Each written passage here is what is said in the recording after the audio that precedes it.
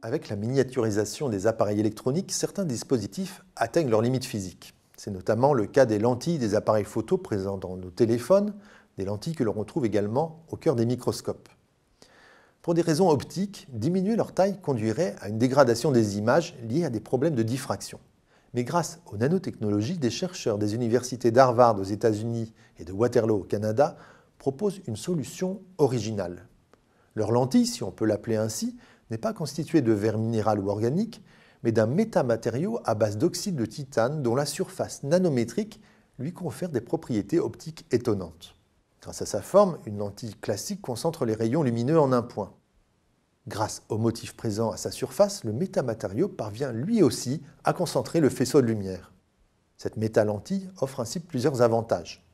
Elle permet de dépasser les problèmes de diffraction. Malgré ses 2 mm de diamètre, elle offre les performances d'une lentille classique de 5 à 6 cm, sans compter sa finesse qui intéressera sans nul doute les fabricants de téléphones. Reste un point à résoudre. Le dispositif fonctionne pour l'instant avec une longueur d'onde donnée. Pour obtenir une image couleur, il va maintenant falloir réussir à concentrer tous les rayons lumineux vers un seul point.